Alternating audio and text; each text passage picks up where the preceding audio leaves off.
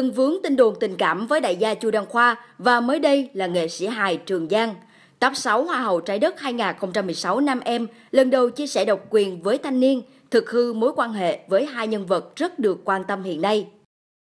Tin Nói chung là cái chuyện uh, tin đồn với anh uh, Chu Đăng Khoa thì em phủ nhận anh Giang là một người à, làm cho em có cái nhìn sâu sắc về cuộc sống và anh là một người làm cho em cảm thấy rất là đau đớn. Chưa một người đàn ông nào mà dám sủi em như vậy?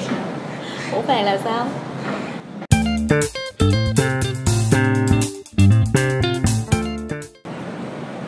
Chắc có lẽ là anh đánh đúng tâm lý của một người phụ nữ.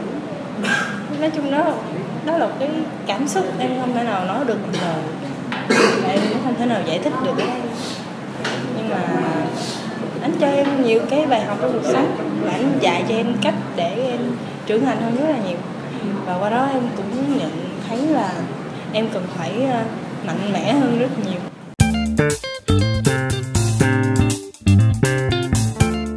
Em phải nên vui.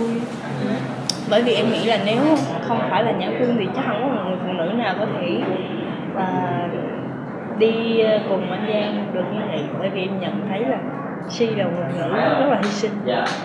Và chỉ có Si mới chịu đựng được uh, anh riêng em thì em còn tương lai quá dài tuổi trẻ em còn quá dài em là cô gái bay nhảy nữa. Cho nên là em rất là tự do em không thích sự ràng buộc